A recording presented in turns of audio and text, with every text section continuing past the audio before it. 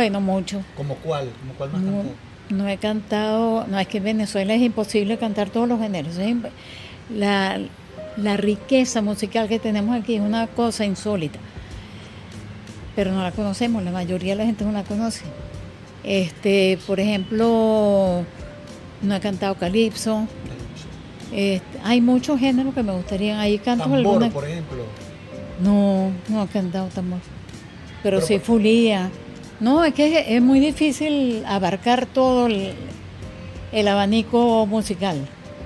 Pero, pero has grabado gaita, esa, es la- esa es Sí. la anécdota de, de- antes de comenzar a grabar.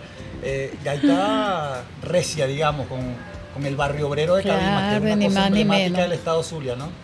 Maravilloso. El tema de Bernardo Bracho, que es un emblema de, de la música zuliana. Mira, todo empezó porque yo estuve en contacto siempre con Luis Felipe Ramón y Rivera, que era de- en ese momento era director de lo que se llamaba el INAF, Instituto, eh, sí, creo no equ- equivocarme, Instituto Nacional de Folclore. Folclore.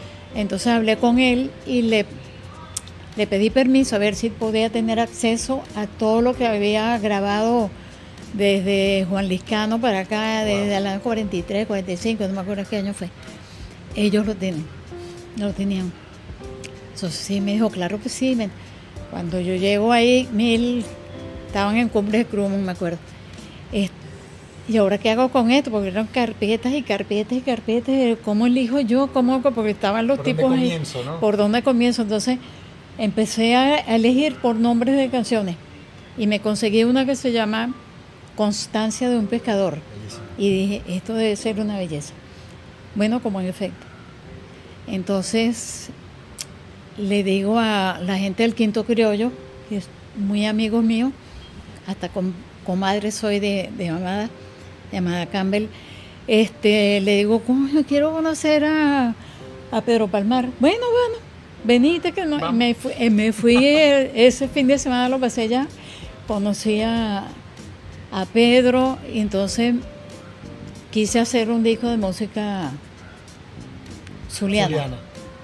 Empezamos grabando. Constancia Pescado. No, la Constancia la- ya la había grabado un disco había. mío. Pero entonces quería grabar con diferente, pero la música, la gaita tradicional.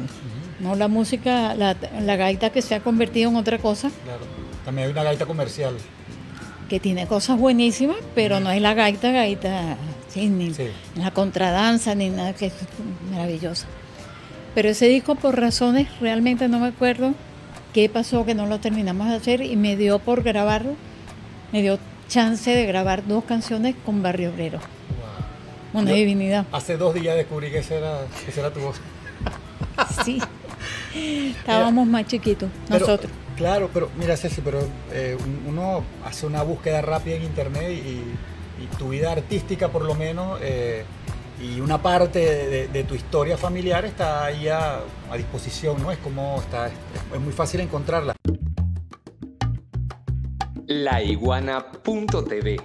La verdad hecha tendencia.